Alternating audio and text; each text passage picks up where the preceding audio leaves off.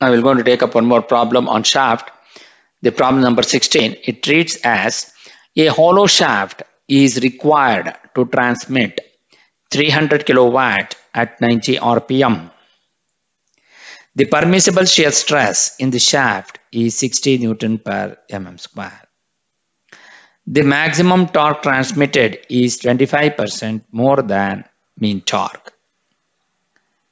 The internal diameter is half of the external diameter. Find the internal and external diameter of the shaft.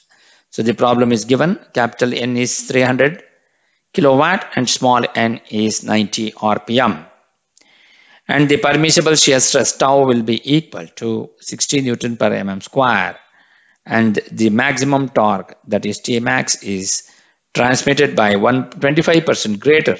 Therefore 1.25 times the T, T mean and tau di will be equal to half of the external diameter that is 0.5 into d naught and tau will be equal to 60 Newton per mm square. Since the power is given, so the power transmitted by the shaft, which is capital N, will be equal to 2 pi n into T mean divided by 60,000 kilowatt.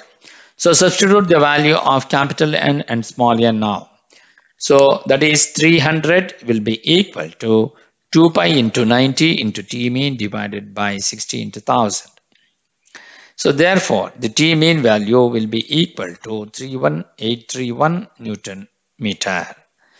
So again, the mean torque transmitted by the hollow shaft, which is T mean, will be equal to 31.831 or 31831 Newton meter, which will be equal to 31831 into 10 to the power of 3 Newton mm.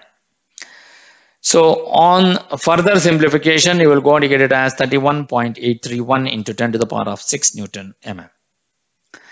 Now, from the torsional equation, what is that? The maximum torque transmitted by the hollow shaft, which is T max, which will be equal to pi by 16 into tau into d naught to the power of 4 minus di to the power of 4 divided by d naught.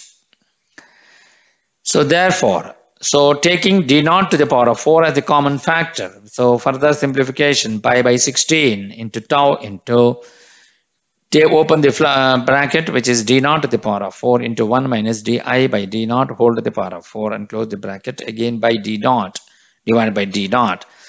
So on substitution, so pi by 16 into tau into d naught cube into 1 minus 0.5 to the power of 4. So Therefore, because di by d naught will be equal to 0.5.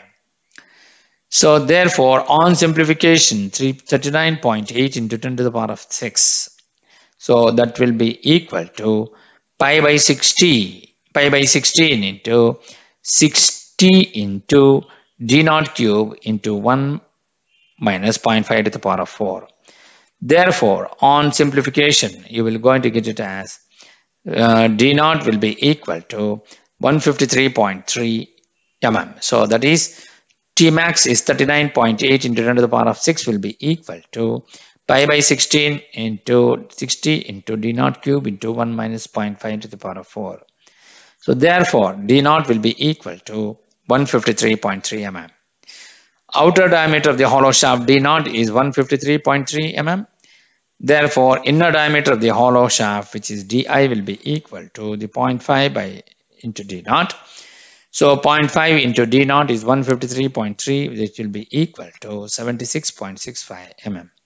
So this is how you will be able to analyze and solve this particular problem. Thank you.